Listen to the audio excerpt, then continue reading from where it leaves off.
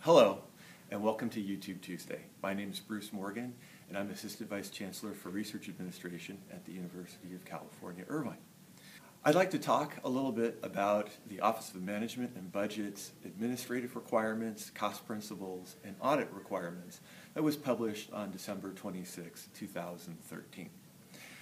It's a very long and comprehensive document, so I have some notes over here that I'm going to be referring to from time to time as we go through the circular.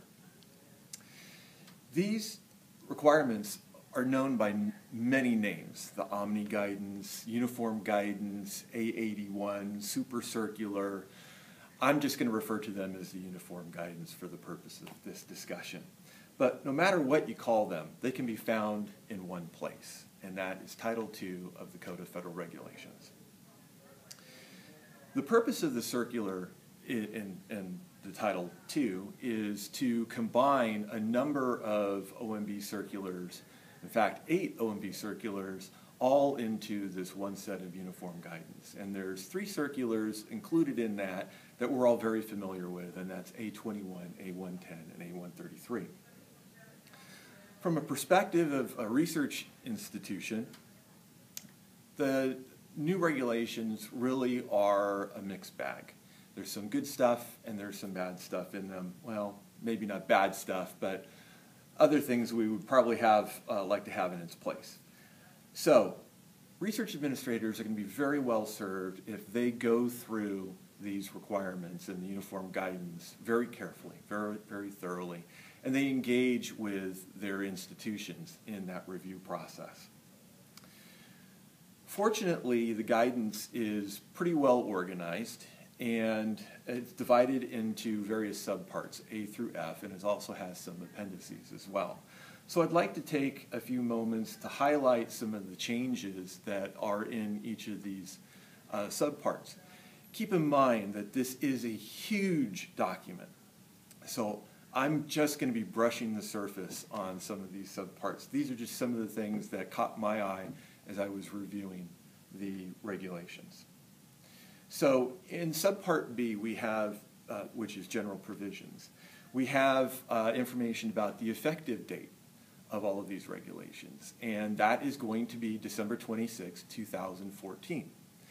Now, that's going to be effective for all of the subparts except subpart F, which is the audit requirements and that's going to become effective on the uh, first fiscal year after the implementation date. So for most of us on a, uh, certainly those of us who are on a uh, July through June fiscal year period, that's going to be your fiscal year starting July 2015. Also in this section, uh, subpart, we have a section on conflict of interest, and this was somewhat of a surprise because it wasn't in the proposed guidance that was put out by OMB for comment. And this actually requires that institutions report conflicts of interest, actually potential conflicts of interest, back to federal agencies.